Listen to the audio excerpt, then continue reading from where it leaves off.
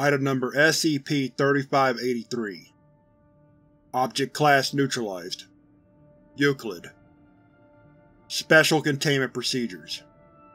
As all attempts to take SCP-3583 into custody have resulted in it decohering into its component parts, and a new instance manifesting within three days, containment is focused on supervising its behavior, and on information control. Foundation personnel have been embedded among the employees of SCP-3583's preferred school. For monitoring purposes, three Foundation personnel are to embark on SCP-3583 at the end of each school day. Except for purposes of approved experimentation of behavior pattern SCP-3583-2, no more than four personnel are to embark. Standard Internet monitoring bots have been set to watch video sharing sites for further copies of videos made from within SCP-3583. All such copies are to be taken down. Description: SCP-3583 is a school bus which displays multiple anomalous properties, the most evident of which is that it is autonomous. The driver's seat is empty at all times, and an unknown force prevents it from being occupied. Similarly, the steering wheel and brake and accelerator pedals do not respond to manipulation. As well, close inspection reveals that it is composed of a wide variety of mismatched school bus parts, held together by an unknown force. SCP-3583 associates itself with public school in the town of Oklahoma.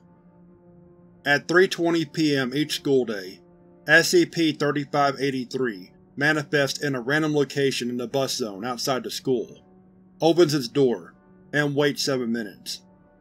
During this interval, a maximum of 56 children may embark of their own volition.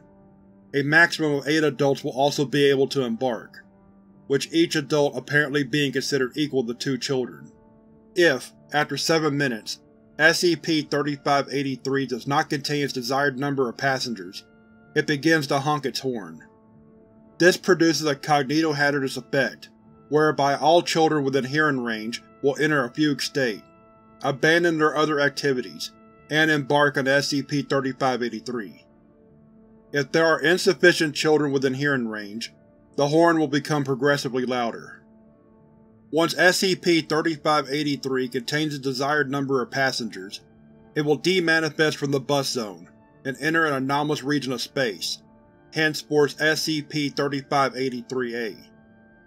SCP-3583-A is recognizably based on the town of, but with multiple divergences, including, but not limited to, violent civil unrest, seismic and volcanic activity, frequent high-voltage electrical discharges, inconsistent gravity, building fires, predatory megafauna, open military conflict with public mass executions, and animate cadavers of varying degrees of decomposition and mutilation. In SCP-3583-A, SCP-3583 will engage in one of two distinct behavior patterns, depending on how many adults are present. Behavior Pattern 1 0 to 4 adults SCP-3583 will drive through SCP-3583-A until it reaches the counterpart of an individual child's residence. Although standard school bus drop-off points exist, SCP-3583 ignores them. There, it will return to normal space, and allow the child to disembark. It will then return to SCP-3583-A, proceed to the counterpart of another child's residence, and continue in this fashion until all the children have disembarked. Afterward, it will deliver any adults to their individual residences in the same fashion. Once the last adult has disembarked, SCP-3583 will demanifest. Behavior Pattern 2 5 to 8 adults SCP-3583 will emerge from SCP-3583-A at the sites of historic mass casualty events. Identified sites include the World Trade Center, Lak, Pompeii, and Nanjing, in the days or weeks prior to their occurrence.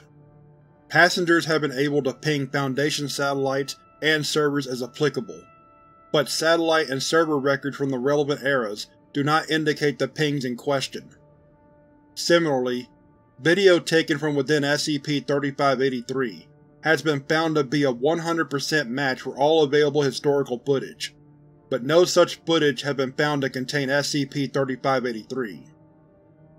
SCP-3583 will then drive around the site for between 45 and 150 minutes, after which it will engage in Behavior Pattern 1.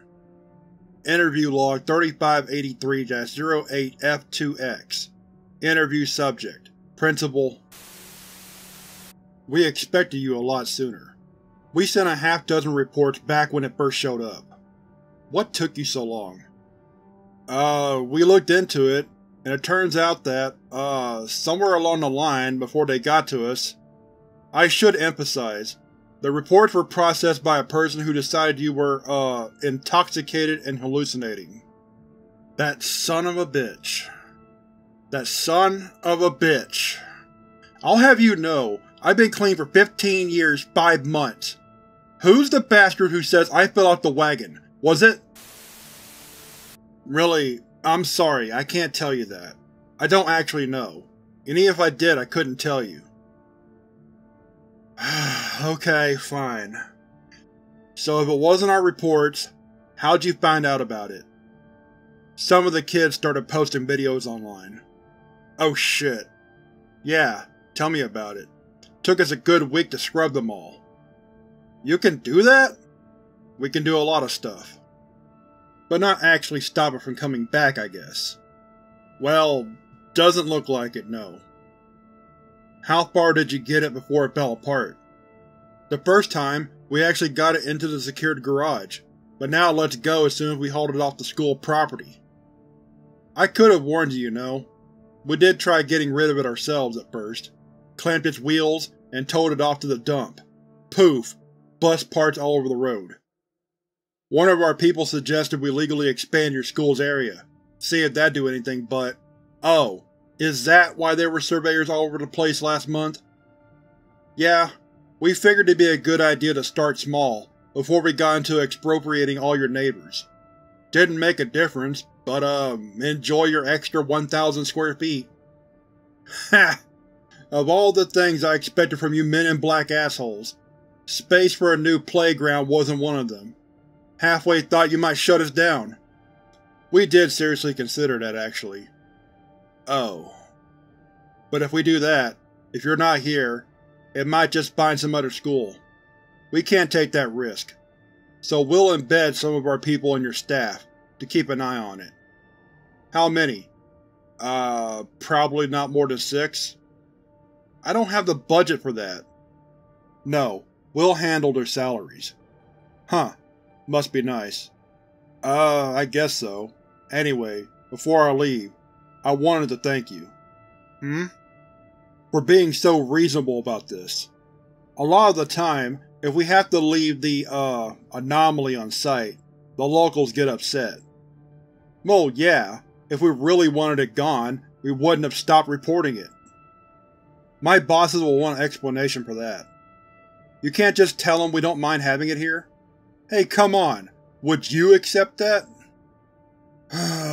Look, Whatever it is, it pretty clearly wants to be a school bus, and it's not doing that bad a job.